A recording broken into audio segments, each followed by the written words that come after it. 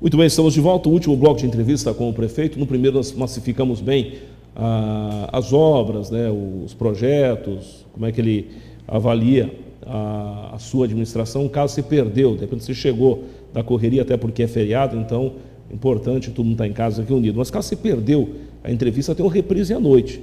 Depois estaremos postando também nas nossas redes sociais, como também na página Ariquemes 190. Fael. É aquele da propaganda, da sandália. Não. O que dançava? Também não. Gritava. Não. Ainda bem que quando o assunto é faculdade, ninguém tem dúvida. A FAEL tem graduação e pós-graduação, bolsas de estudo e os alunos mais satisfeitos do mercado. Lembrei! Você é o tiozão da...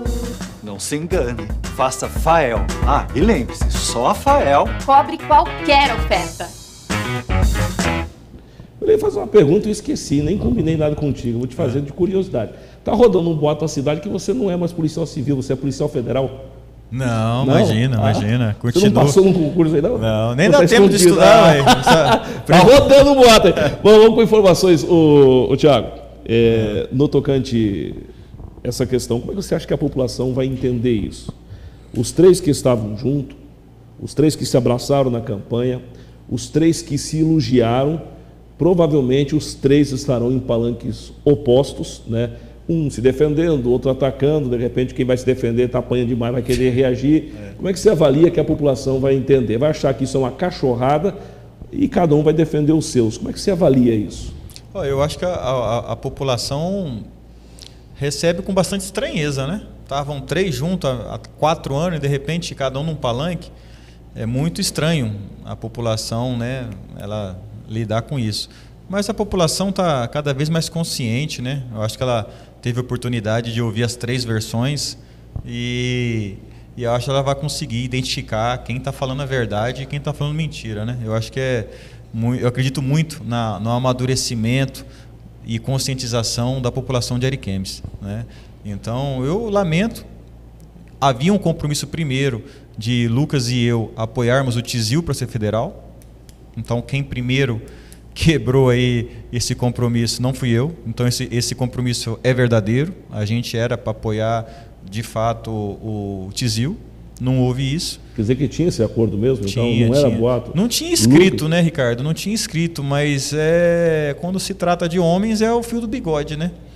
Então, embora o Tizil não tenha barba aí, mas é, é, o fio do bigode. Então, era isso que a gente era, era o nosso acordo, né? É, eu acredito muito. Você, você, você ficaria numa situação cômoda com três candidatos para você? Porque observa o seguinte em você, e eu, como assim, a gente fica de fora analisando, né? O pau está quebrando e você não está nem aí. Observe isso aí, porque é. naturalmente que, por exemplo, você tem a sua rejeição, Sim. que todo administrador tem a sua é. rejeição, e eu, do meu ponto de vista, se eu fosse você, eu ia querer uns quatro candidatos. É. Pode sentar o porrete, você está desse na, jeito? Na ou... verdade, Ricardo, eu acho que você, como a população de Ariquemes, já fez a leitura de como será essa campanha. É os dois ou três que se tiverem batendo no atual prefeito. Né? E cada um deles vendendo uma imagem que eles julgam ter. Um de família, um que morou, nasceu aqui e pelo fato de ter nascido aqui, ele é o melhor para Ariquemes, outro que teve experiências em administrações passadas. Enfim, a ideia vai ser essa, o jogo vai ser esse, todo mundo batendo no prefeito e vendendo uma imagem que eles julgam ter. E nós teremos duas opções. Ou nós vamos rebater essas críticas e baixar o nível da campanha, ou nós aproveitaremos o período de campanha para mostrar o que fizemos e o que não fizemos. E o que não fizemos, por que não fizemos? E eu vou adotar essa segunda estratégia. Eu acho que a população não merece ter uma campanha política de xingamentos, de acusações sem provas, de fake news, e ao contrário, merecem ser, ter o direito à informação. Então eles vão ter o jogo deles lá, nós aqui com a consciência tranquila de não ter recebido a Polícia Federal, em visita lá na prefeitura, de não ter indícios de corrupção na prefeitura, de não ter nepotismo, não empreguei nenhum familiar meu ou conhecido meu para fazer nepotismo cruzado, né? de manter uma administração transparente, né? com bastante responsabilidade fiscal e vou mostrar o que a gente conseguiu fazer o que não, e o que não conseguimos. Falei aqui da rodoviária, nós não conseguimos, mas vou dar o motivo certinho. Outras situações, você falou da por que obras, né? A outra pergunta é obras É, que é, eu vou- eu vou só complementar ela, foi até interessante, eu ia acabar esquecendo. Eu observo que a, a- a assessoria de comunicação da prefeitura, quando ela lança alguma coisa assim que você está fazendo, ou que você é, né, assinou uma ordem de serviço, algo de sentido, já vem as- os, os adversários rebatendo, que está vendo aí, está chegando política, está começando. Como é que você vai lidar com isso? Essas obras, é, tu acha que cola isso para a população ou não? Primeiro, primeiro que o mandato tem quatro anos que eu saiba, né? Não são três anos, são quatro anos. Esse ano ainda é parte integrante do mandato que a população nos concedeu. Então esse ano é ano de, de trabalho ainda, não é de, de folclore. E segundo, eles mentem, né? Não é verdade que apenas obras saíram para esse ano. Em 2017 nós inauguramos a UPA, a Casa de Parto, que, repito, o Lorival deu bastante contribuição, sim, para o prédio fisicamente considerado. E olha que tivemos que fazer uma série de readaptações. Mas estava uma casquinha de ovo. Não se tinha a equipe para trabalhar lá dentro, não se tinha os equipamentos para trabalhar lá dentro, não se tinha nada. Então eu acho que a grande coragem nossa foi fazer a UPA funcionar. Então em 2017 teve isso. Em 2018 teve aí o recapeamento, por exemplo, da Avenida Guaporé e o bairro Gerson Neco. Ora, será que só estamos trabalhando agora? Diga isso para as populações do Gerson Neco, do setor 6, do setor colonial. Então nós temos mostrado trabalho desde lá do começo. Só que eles querem vender a, a imagem de que, assim como outros políticos que eles julgam com a régua deles, eu também teria sido o mesmo.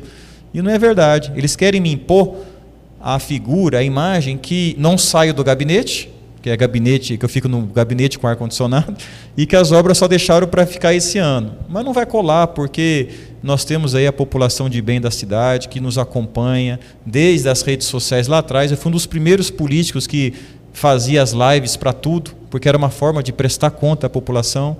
Então, quem quiser saber o que foi feito em 2017, e o programa eleitoral nos permitirá dizer isso, vai ver que desde 2017 eu estou lá na rede social. É o prefeito blogueirinho, blogueirinho que fala, né, sei lá.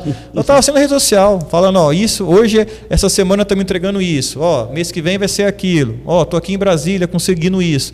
Então, graças a Deus, a internet está aí e vai nos melhorar a memória dessas pessoas que nos acusam das obras serem só esse ano. Não é verdade. A Ariquemes tem obra desde lá de 2017. Bom, você troca de partido realmente? Vai para o. o Sim. vai, Vou, vou está certo. O Alex é, ele é meio mineirinho, né? Ele ficou do seu lado o tempo todo, agora ele É arrastou verdade. você pro. É verdade. O Alex ele, ele goza de uma boa legitimidade aqui em Ariquemes. O grupo dele está bastante coeso. Nas últimas eleições ele demonstrou um crescimento. Isso é muito importante. Ele será o nosso presidente da Assembleia, o próximo presidente da Assembleia. A Carla Redano, sua esposa, é uma excelente vereadora, presidiu muito bem a Câmara né, na qualidade de presidente, agora esses últimos dois anos. Tem sido uma pessoa muito séria também, muito firme no seu trato com os compromissos. E eu tive que sair do PSL, Ricardo. Você, inclusive, já fez uma matéria com isso e eu agradeço porque com a saída do Bolsonaro do PSL, o PSL ruiu, desmoronou. E ficou a imagem de que apenas os traíras do Bolsonaro teria ficado no PSL. Eu não quero essa fama. E para o novo partido, que é a Aliança, não dá tempo para a próxima eleição. Então eu me vi no direito, de fato, de procurar um, um, um abrigo, né? um partido que me acolhesse bem, pessoas que quisessem ali o meu bem. E encontrei essa segurança, embora respeite os outros convites que recebi, e fiquei muito feliz por isso, mas acabei conversando muito bem com republicanos e provavelmente dia 19 de março será a nossa filiação no partido. Queremos fazer um evento aqui na cidade e, e, e deixar o dia para filiações, né? novas filiações de pessoas que pensam como a gente, para já começar aí vislumbrar esse cenário, depois buscar o meu vice, né, a candidatura a vice, buscar é, para Carla Redando, doutor Ricardo, já seriam os nomes? São esses os dois principais nomes que nós temos, né? Duas pessoas excepcionais, o Ricardo de uma conduta ilibada, um amigo pessoal desde quando cheguei aqui em Rondônia, uma pessoa que, nossa senhora, só tem coisas boas a falar dele, né? E a Carla, uma pessoa que conheci já na gestão, né, na qualidade de vereadora, e me surpreendeu positivamente, bastante. Uma pessoa aguerrida, ela não se leva pelo que o Alex diz. Né? As pessoas podem pensar, ah, ela, ela faz o que o Alex quer. Não é nada disso. Quem conhece a Carla sabe que ela tem um posicionamento forte, firme, é uma, é uma participadora aí constante das causas sociais, tem projetos no, na questão do esporte feminino, das mulheres grávidas, ela é uma defensora do empoderamento feminino. Então, assim, são duas pessoas que eu tenho muita estima e nós estamos conversando, né? Óbvio que as portas só vão se fechar lá nas convenções, mas nós temos esse aí como dois bons nomes. Bom, uma, uma questão interessante que eu vou, vou abordar aqui é, agora, você me respondendo essa pergunta, como é que fica o PSL? O Ricardo permanece no PSL? Não, não. Provavelmente ele vai migrar para o partido que ele sempre foi, que é o PSDB. PSDB. O Ricardo sempre foi. Pô, mas então PSDB. se ele vai para o PSDB. É, isso, aí é aquele... é você, isso aí é você falando. Não, aquele clima da reunião que ficou, você vai dar um chute na canela do Lucas e do Adelino violento. Que você, não, vou fazer uma, você tira deles o, o, o PSDB e tem tudo para tirar o PSD, é isso? Não sei, Ricardo. Não sei. Aí ele ficaria só com o democrata, o PSL. A, a entrevista não... acabou? Não, eu vou, eu vou fazer, eu vou levantar uma. Olha só o que pode acontecer. Preste atenção o que pode acontecer na política. O Adelino e o Lucas Fulador é, têm o tempo de TV ainda. Então isso é muito importante que para o próximo pleito pode acabar. Esse não. Ele tem o Democratas. E o, a linhagem, que tudo indica que ande DEM, PSDB e PSD, juntos, trazendo o republicano. Presta atenção que pode ocorrer. O PMDB não vai com Democratas, isso é fato, não vai. O PSL não vai com Democratas, só se eu tiver errado. Só se eu tiver errado. Aí nós temos alguns partidinhos, usar partidinhos, peço desculpa, mas eu disse assim, pela expressão, não tem praticamente nada de tempo de TV, talvez esses, alguns possam ir. Mas você vai, se isso se concretizar, você indo para o republicano. Eu já observei que o partido não quer ir com a Adelino ou um grupo pesado ali do partido. Querem ir. Rapaz, é uma situação, eu assim, vamos aguardar. Não estou aqui me ante... Eu só estou analisando aqui que, Não, sim, é que uma, pode ser é uma... uma possibilidade. É uma possibilidade. O, o... Ricardo é muito querido pelo PSDB, uma figura muito. Ela, ele tramita bem, né? O Ricardo. Eu queria ser igual o Ricardo, ninguém fala mal dele. Mas... Pai, que coisa? Se tu analisar, é. É, pode dar game, game over antes do tempo não, né? Ah, não, game over não. não dá, não. O, eu estou falando assim porque eu, a gente vai ter entrevista a esse respeito e na, na forma que anda a carruagem aqui complica a situação. Bom, para finalizar, o, o Tiago, a sua mensagem à população de Ariquemes, não está certo? Claro, a gente tem vários assuntos para abordar, é. não deu para abordar todos. Volta a informar. Se você ligou o seu televisor neste momento, no primeiro bloco falamos da atuação do prefeito das obras. E no segundo bloco passamos a pontuar sobre eleições. Você pode assistir o reprise à noite e também as informações estaremos levando ao ar através das redes sociais. A sua mensagem à população de Ariquemes. Bom, Ricardo, primeiro agradecer a esse espaço grandioso, né? Falamos aqui quase uma hora, em horário nobre. Tenho certeza que essa entrevista vai ter bastante repercussão pela forma com que você consegue interagir com o, o entrevistado e a idoneidade que você goza perante a sociedade. As pessoas têm no canal 35 e no site Ariquemes 190 um selo de que aquela notícia é verdadeira. Então, parabéns por isso e obrigado por me trazer aqui. E a população toda de Ariquemes, a gente fica aqui realmente com a mensagem de que 2020, embora seja um ano eleitoreiro, o trabalho não vai parar, as conquistas continuarão.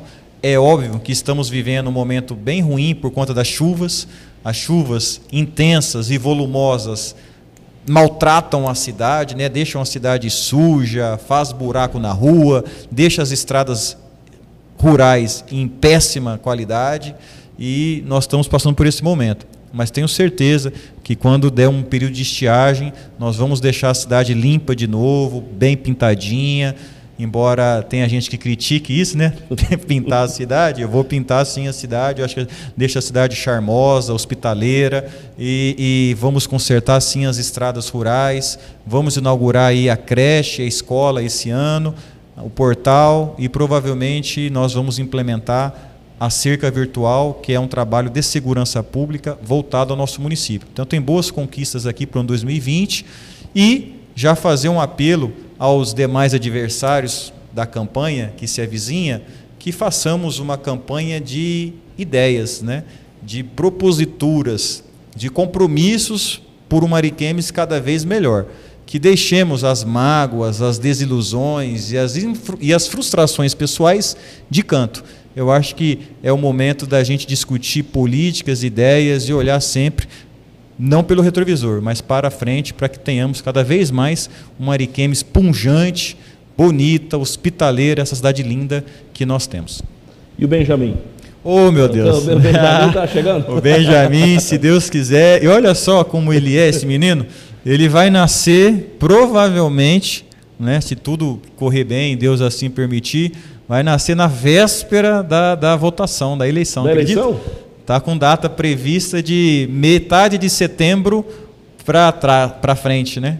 Então. As pessoas, a esposa do, é. do Dr. Tiago é, está grávida, está tá certo, e, e, já escolheu o nome Benjamin. Benjamin. É nome, é nome bíblico, né? Bíblico.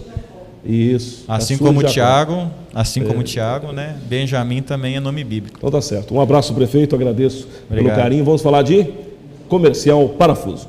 Olha só, mais uma vez nós estamos aqui no Comercial Parafuso para trazer grandes novidades que acabaram de chegar, como esses lindos tapetes. Olha que bonito esse tapete, tapete de 60 centímetros, ideal para sua cozinha, para o seu banheiro e com detalhe muito importante, você pode colocar na máquina, aquela máquina que faz tudo e o seu tapete vai sair limpinho e claro, garantido para você sem nenhum estrago. E olha esse daqui para criançada, 1,20m e educativo muito bacana para você ter na sua casa. Temos também o pneu para carretinha só R$ 52,00 e para ser completo para você o aro que sai apenas por R$ 45,00. E aqui você vai encontrar também pezinhos para o seu estofado, para a sua cama box e também para o seu armário. Não perca também a super promoção em eletrificador da marca Zebu. Comprando acima de 100 reais esse produto, você leva cupom para concorrer um lindo quadriciclo. Corra para cá para o Comercial Parafuso, Avenida Capitão Silvio, em frente ao 7 Batalhão da Polícia Militar. Vamos ao rápido intervalo, já retorno.